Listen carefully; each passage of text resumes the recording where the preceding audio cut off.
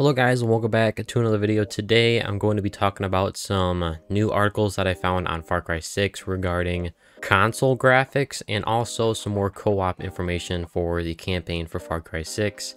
Now before we get started, uh, please give this video a like if you find it at all helpful or you just enjoyed watching it. And subscribe for more videos just like this one in the future. We're almost to 600 subscribers, so come on guys, help me out now. and yeah, without further ado, let's get into the video. So first, I'm going to talk about the Far Cry 6 co-op campaign and some of the new stuff we have there.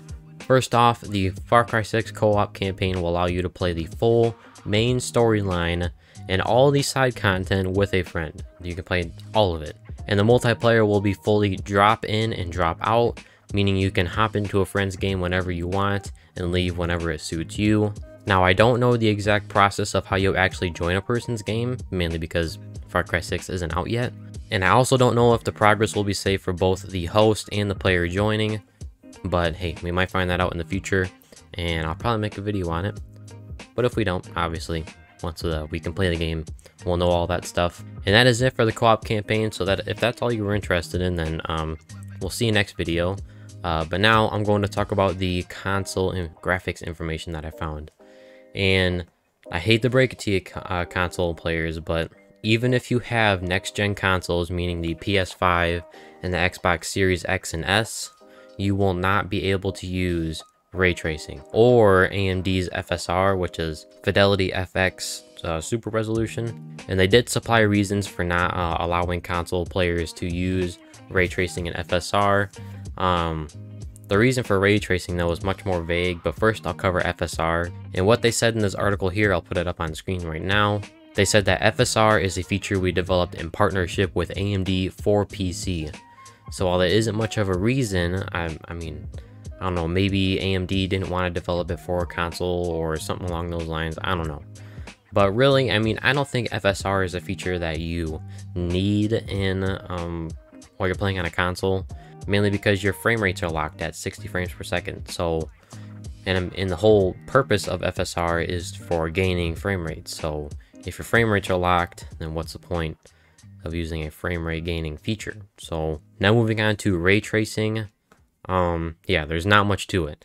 You will not be able to use the ray tracing feature for Far Cry 6 if you have a console. Why they did this, I have no clue. I, I don't I don't know why because it, even if you have the next gen consoles, you won't even be able to use ray tracing, even though those are capable of playing games with ray tracing. And even in this whole article, which if you want to read this article, by the way, I'll put it in the description down below. Uh, if you want to check it out, you can go right ahead.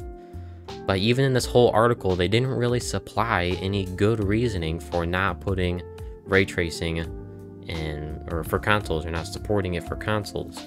So, I don't know. Now, in the first article in this paragraph, which I'll put up on screen right now, they said that the Ubisoft 3D team lead programmer Stephanie Brenham, I'm gonna uh, guess that's how you pronounce that name.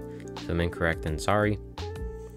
Reveals that both ray tracing and AMD's Fidelity FX Super Resolution, or FSR, will be PC exclusive features, while console versions will forego both and to prioritize 4K 60 frames per second performance target. So, yeah, I mean, hey, you'll get to play 4K 60 frames per second, just no ray tracing. So, now even without ray tracing, I do believe that this game is still going to look awesome.